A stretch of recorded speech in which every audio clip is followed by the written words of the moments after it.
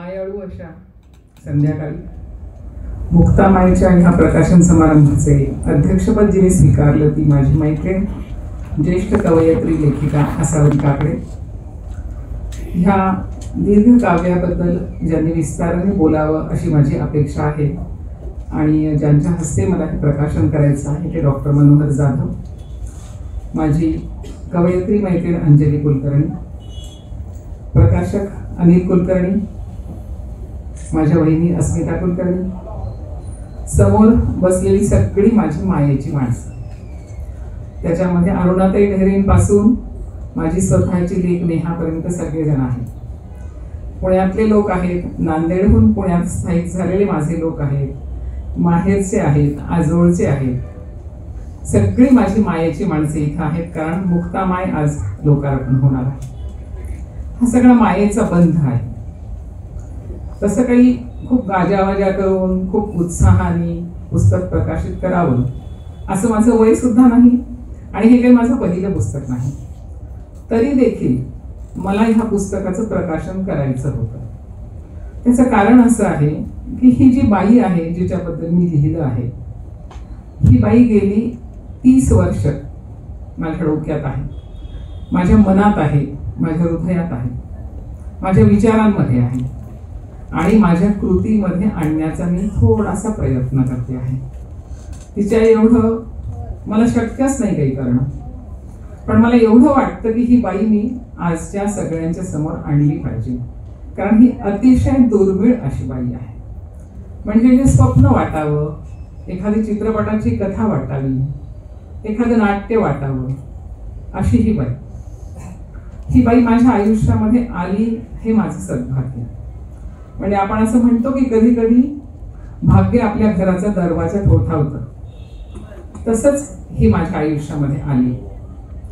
खरं म्हणजे इथे जे कोणी डॉक्टर आहेत बसलेले त्यांच्या लक्षामध्ये येईल की डॉक्टरांच्याकडे अनेक प्रकारचे लोक पेशंट घेऊन येत असतात. त्याच्यामध्ये नातेवाईक सुद्धा असतात की माझ्या बहिणीला बरं वाटलं म्हणून मी घेऊन जाते. माझ्या बहिणीला बरं वाटलं म्हणून मी घेऊन जाते. असा एक अनुबंध असतो. आणि काही लोक असतात की जे असं पेशंट नेण्याचं काम करतात आता आजचं जे जग आहे प्रचंड व्यावसायिक जग आहे ते तिथे एकच फक्त नाणं चालतं ते म्हणजे पैसा किंवा फायदा. याच्या पलीकडे एक जग असतं हे कळण्यासाठी मला ही बाई माझ्या आयुष्यामध्ये आली. तसे माझ्या आई वडिलांचे संस्कार होते माझ्या सासू सासऱ्यांचे संस्कार होते की पैशाच्या मागे लागणारा किराणकर परिवार नाहीच आहे. आमच्या घरामध्ये सगळीच माणसं अशी आहेत पण तरी देखील त्याच्याही पलीकडे एक मोठं विद्यापीठ मला भेटलं ह्या बाईच्या माध्यमातून. ही बाई माझ्या आयुष्यामध्ये आली ती केवळ एक दाई म्हणून आली नाही. एका दाईच्या पलीकडे ती फार काहीतरी होती ते मी ह्या पुस्तकामध्ये लिहिलं आहे. ती जिवंत असताना जवळपास वीस वर्ष साधारण एकोणीसशे एक्क्याण्णवपासून दोन हजार दहा अकरा पर्यंत ती माझ्याकडे येत होती. आठवड्यातून दोनदा तीनदा ती बाळंत होणाऱ्या बायका घेऊन माझ्याकडे यायची. तिला स्वतःला उत्तम ज्ञान होतं प्रसूतीचं. तिच्या तिच्या भाषेत ती बोलायची. ते जे बोलायची ते म्हणजे इंग्रजीमध्ये जर आपण भाषांतर केलं तर आमच्या पाठ्यपुस्तकात जे आहे तेच असायचं. इतकं छान ज्ञान तिच्याजवळ होतं पण त्याचा कधी व्यवसाय करावा असं तिला वाटलं नाही. ही तिची महत्वाची गोष्ट होती. आणि जशी जशी ती माझ्याकडे येत गेली तिच्या प्रत्येक भेटीत मला समजत गेलं की हिच्याजवळ हा पण गुण आहे. अरे हा देखील गुण हिच्याजवळ आहे. अरे ही अशी सुद्धा आहे. अरे ही तशी सुद्धा आहे. म्हणजे ती प्रत्येक भेटीत मला चकित करायची. अशी ही बाई होती. आणि त्या बाईबद्दल लिहावं असं मला नेहमीच वाटायचं. कामाच्या नादामध्ये राहून गेलं. कधीतरी मी एखादा छोटा मोठा लेख तिच्याबद्दल लिहिला. पण समग्र तिला मला कागदावर आणायचं होतं. आणि ती गेली. त्याच्यानंतर जेव्हा जेव्हा मी लिहायला बसले तर मला असं वाटायचं की मी जे काही लिहिलं आहे त्याच्यापेक्षा ती कितीतरी मोठी आहे. मला जमलंच नाहीये लिहायला. आणि मी ते ठेवून द्यायची. असं अनेक वेळेस झालं. आणि मग मला असं वाटायला लागलं की माझ्याकडून हे जर लिहिणं झालं नाही आणि कदाचित जर मग मी पण राहिले नाही उद्या तर ही बाई लोकांना समजणार कशी की अशी सुद्धा बाई होती. आणि मग ती एखादी कथा होण्याऐवजी किंवा दंतकथा होऊन राहण्याऐवजी ती खरोखर सगळ्यांपर्यंत पोहोचावी अशी माझी इच्छा होती. आणि मग ते मला ह्या कवितेच्या रूपामध्ये लिहायला थोडंसं जमलं आहे असं म्हणणं सुद्धा धाडसाचं आहे. आता इथे अरुणाताई बसलेल्या आहेत आसावरी आहे अंजली आहे अश्लेषा आहे संजीवनी कोकिल आहे सगळ्या जणी मीरा आहे मनीषा आहे सगळ्या माझ्या कवयित्री मैत्रिणी आहेत. सगळ्या माझ्यापेक्षा सर्व अर्थाने मोठ्या आहेत. त्यांच्यासमोर मी असं म्हणणं की मला हे जमलं आहे हे फार मोठं धाडस होईल. मी तसं म्हणणार नाही. मी असंच म्हणेन की मी लिहायचा प्रयत्न यासाठी केला की ती दंतकथा होऊ नये. ती समजली पाहिजे सगळ्यांना की अशी सुद्धा बाई होती. म्हणजे मी एक ऑस्कर सोहळ्यामध्ये एक वाक्य ऐकलं होतं एका अभिनेत्रीचं. तिला ऑस्कर अवॉर्ड मिळालेलं होतं. आणि ती तिच्या बोलताना असं म्हणाली. फार महत्वाचं वाक्य होतं. ते वाक्य माझ्या मनामध्ये इतकं बसलं. त्याच्यामुळे त्या अभिनेत्रीचं नाव मी विसरलेली आहे. पण ती असं म्हणाली होती की it is very easy to be nice with people in your good days फार महत्वाचं वाक्य होतं. आणि हे वाक्य माझ्या मनामध्ये रुतून बसलं. आणि मला तात्काळ ही बाई दिसायला लागली. कारण हिला गुड डेज काय? बरे दिवस सुद्धा तिच्या आयुष्यामध्ये कधी नव्हते. तिला तिच्या आयुष्याने काहीही दिलं नव्हतं. आणि तरी देखील ही बाई वीस वर्षात मला जेवढ्या वेळेस भेटली कधी दुपार असायची कधी रात्र असायची बऱ्याच वेळा मध्यरात्र असायची कधी पहाट असायची कधी सणाचा दिवस असायचा कधी अमावस्या असायची कधी पौर्णिमा असायची. पण ही माझ्याकडे एखादी वेदनेने तळमळणारी बाई घेऊन यायची आणि त्या बाईची सुटका होईपर्यंत ही बाई उभीच असायची. आणि मी हिला वीस वर्षामध्ये कधीही किंचित चिडलेलं किंचित त्रागा वैताग चिडचिड नाराजी किंवा कधी ती कोणाला थोडासा आवाज चढवून देखील बोललेली मी अनुभवली नाही. तिच्या तोंडामध्ये एकही अपशब्द नव्हता शिवी तर फार दूरची गोष्ट. म्हणजे कधी कधी असं व्हायचं की एखादी बाई माझ्याकडे यायची प्रसूतीसाठी ती रात्रभर मी जागायची आणि जे काही अपेक्षित असायचं ते घडायचं नाही. मग मला सिझेरियन करावं लागायचं आणि रात्रभर मी थकलेली असायची तिला सारखं पाहून पाहून. घरी जायचं पुन्हा यायचं ह्या चक्राने मी थकून जायची. आणि पहाटे जेव्हा सिझेरियनला घ्यायचं असायचं तेव्हा ती बाई कळा मी ओरडत असायची. तर कधीतरी मी ओरडली असेल त्या बाईवर. की नको बाई एवढ्या जोरात ओरडूस. पण ही बाई मात्र तिला मारेल नाही हो मॅडम. तिला सहन होत नाही. म्हणजे तिला परम करुणा प्रत्येकाबद्दल जगातल्या कधीच तिला मी करवारलेलं पाहिलं नाही चिडलेलं पाहिलं नाही. कुणाबद्दल नाराजी नाही. म्हणजे असं माणूस असू शकतं का? की आणि जे माणूस ज्याला आयुष्यामध्ये काहीच मिळालं नाही. वयाच्या आठव्या वर्षी लग्न झालेलं. तेही एका बीजवराशी आणि त्या बीजवराला एक बाळ. ते बाळ सांभाळण्यासाठी हिचं लग्न झालेलं आणि ही वयात येऊन नांदायला जाण्यापूर्वीच क्षय होऊन पतीचं निधन झालं. म्हणजे ही दहा बारा वर्षाची मुलगी आणि हिला पाच सहा वर्षाचा मुलगा. म्हणजे ही त्याची आई. असं हे सावत्र आई मुलाचं नातं मी अनुभवलं आहे.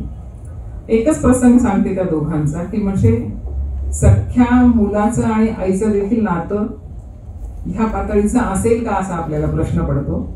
एकदा ती दोघं जण माझ्याकडे येत होती मोटरसायकलवर येत होती गावाकडून. रस्त्यामध्ये पडले दोघं जण. पडल्यानंतर त्या बाईलाही लागलं त्या मुलालाही लागलं त्यांच्या. म्हणजे मुलगा म्हणजे काय नात्याने मुलगा पण वयामध्ये अंतर पाच सहा वर्षांचं. दोघेही दवाखान्यामध्ये आले. तर ह्या बाईच्या दातातून गोठातून रक्त असं पडतंय खाली बरं का. तरी सुद्धा त्या मला म्हणतात मॅडम गणपतीलाच पहा. ते लई चोरून घेते बघा त्याला तपासा आली आणि त्या बाईच्या इथून रक्त वाहते आणि तो गणपती नावासाठीचा मुलगा मला म्हणतोय की मॅडम अगोदर तुम्ही माईला तपासा बरं. माईला तर उभं राहता येईना झालं. म्हणजे त्या दोघांचं प्रेम किती पराकोटीचं होतं बघा. मुलाला वाटतं की आईला आधी तपासलं पाहिजे मॅडमने आणि आईला वाटतं की मुलाला आधी तपासलं पाहिजे. नात्याने ती दोघ जण सावत्र माई वयामध्ये अंतर केवळ पाच सहा वर्षाचं. हे असं नातं आणि त्या नात्याच्या अनेक छटा मी वीस वर्ष पाहिल्या. आणि केवळ मुलाबद्दलच नव्हे मुक्या प्राण्यांबद्दल सुद्धा या बाईला पराकोटीचं ममत्व कुणाचाच कधीच राग त्या बाईने केलेला मी पाहिला नाही. आणि अशा बाईबद्दल मला असं वाटलं की हे आपण लिहिलं पाहिजे. कारण इतका विकारांवर विजय मिळवणं म्हणजे अशक्य कोटीतली गोष्ट आहे. कुठलाच विकार तिच्याजवळ नव्हता. एकही विकाराला तिने स्वतःजवळ फटकू दिलं नाही. आणि ती जेवढे वर्ष जगली तेवढ्या वर्षामध्ये तिच्या गावातलं कुणीच माणूस असं म्हणत नाही की ही माई कधी चिडली होती. ही माई कोणावर रागवली होती. ही माई कोणावर नाराज होती. किंवा या माईनं कोणाला रात्री अपरात्री मदत करणं नाकारलं होतं. असं म्हणणारं माणूस त्या पंचक्रोशीत सापडत. नाही तिनं कधी स्त्रीवाद हा शब्द उच्चारला नाही. तिला माहीतच नव्हतं हे काही सगळं. तिला वाचता लिहिता देखील यायचं नाही. पण तिला एवढं कळायचं की गर्भामध्ये जर मुलगी असेल तर मुलगा मुलगी तपासून मुलीला काढायचं नाही. मुलीला मारायचं नाही हे तिला समजत होतं. अशी ही बाई तिच्या अनेक छटा म्हणजे काहीच आयुष्यामध्ये न मिळता ती चांगली वागली. म्हणजे जसं ती अस्कर विजेती बाई म्हणाली की आपले जेव्हा चांगले दिवस असतात जेव्हा आपल्याला यश मिळत असतं पैसा मिळत असतो आपलं नाव होत असतं लोक आपल्यावर प्रेम करत असतात त्यावेळेस इतरांशी चांगलं वागणं सोपं आहे. आणि हिला काहीच मिळालं नव्हतं. काहीही तिला मिळालं नव्हतं. पण तरी ती आयुष्यामध्ये तिने सगळ्या विकारांना जिंकलं होतं. आणि म्हणून मला एका बाईला तुमच्यासमोर आणायचं होतं. सांगण्याची गोष्ट अशी विकारांवर विजय तर तिने मिळवलाच होता. पण ती मला एक वसा देऊन गेली असं मला वाटतं की तिने मला काय दिलं असेल तर तिने मला प्रेम करायचं शिकवलं. तिने मला शिकवलं की सगळ्यांवर प्रेम करायचं. मातीवर प्रेम करायचं बीजावर प्रेम करायचं रोपावर प्रेम करायचं धान्यावर प्रेम करायचं फळांवर प्रेम करायचं फुलांवर प्रेम करायचं माणसांवर प्रेम करायचं गाईगुरांवर प्रेम करायचं. इतकंच काय माणसाच्या वेदनेवर सुद्धा तिने प्रेम केलं. वेदनेने तळमळणाऱ्या बाईच्या जवळ ती उभी असायची. मी अनेक वेळेस पाहिलं की ती रात्री माझ्याकडे जेव्हा यायची एखादी बाई घेऊन तर तिने आणलेली बाईचं बाळणपण झाल्यानंतर मला वाटायचं की हिनं जाऊन झोपावं. आणि दुसरी कुठली तरी बाई माझ्या हॉस्पिटलमध्ये आलेली असायची आणि ही बाई तिच्याजवळ उभी असायची. मधल्या वेळात मी घरी जाऊन यायची. पुन्हा जेव्हा मी यायची की नवीन पेशंट आली पाहण्यासाठी तर तिथे ही बाई हजर तिच्या शेजारी मग मी विचारायची की काय मावशी ही पण तुमच्या गावची आहे का? तर ती म्हणायची नाही हो बाई तिचं वरडणं मला ऐकू आलं. म्हणलं थांबावं तिच्याजवळ. बाईचं हे टाईमच लय अवघड असते बघा ही तिची भाषा असायची. जिला स्वतःला काहीही स्त्रीत्वाचे सोहळे अनुभवता आले नाहीत जे आपण म्हणतो की गुणगान गातो आपण मातृत्वाचं. स्त्रीत्व पत्नीपद शृंगार सौंदर्य मातृत्व स्तनपान गर्भार्पण असा कुठलाही स्त्री जन्माचा सोहळा तिनं स्वतः व्यक्तिगत अनुभवला नव्हता. पण इतरांच्या वेदनेमध्ये जी जितकी समरस व्हायची तितकीच त्यांच्या आनंदामध्ये पण ती समरस व्हायची. तिच्या गावातल्या एखाद्या बाईला जर दिवस गेले तर हिचा चेहराच फुललेला असायचा गुलाबासारखा. मला येऊन सांगायची बाई ते रेखाला गेले बरं का दिवस? आता आणते बघा रेखा ती रेखा हिची कोणीच नसायची. शेजारची गावातली कोणीतरी असायची पण चेहऱ्यावर असा आनंद जणू काही आता हिलाच मूल होणार आहे एवढा आनंद तिच्या चेहऱ्यावर असायचा. हे असं दुर्मिळ चित्र माझ्या आयुष्यामध्ये मी पाहिलं नव्हतं. आणि ते मला तुमच्यापुढे ठेवायचं होतं. आणि तिने मला तो जो वसा दिला आहे प्रेम करण्याचा सर्वांवर प्रेम करायला तिने मला शिकवलं. असं बसवून तिने मला कधीच काही सांगितलं नाही. तिला असं कधी वाटलंही नाही की आपण मॅडमना काहीतरी सांगावं. ती स्वतःला एक सामान्य बाई म्हणूनच त्याच पद्धतीने ती माझ्याशी वागली. पण ती जे वागत होती ते पाहून मीच शिकत गेले तिच्याकडून. तिच्या प्रत्येक भेटीत मला एक धडा मिळाला.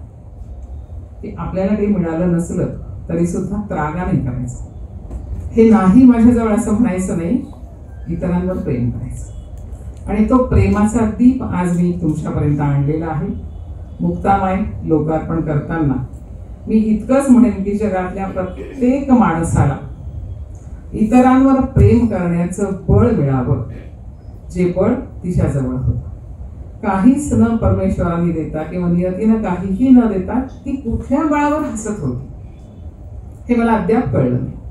कुठल्या बळावर ती इतकं काम करत होती? हे मला अद्याप कळलं नाही. आणि कुठल्या बळावर ती समस्त मानवजातीवर निसर्गावर सर्वांवर प्रेम करत होती? ते बळ ती शक्ती ती ऊर्जा आपल्या सगळ्यांना मिळावी अशी प्रार्थना करते आणि थांबते. धन्यवाद.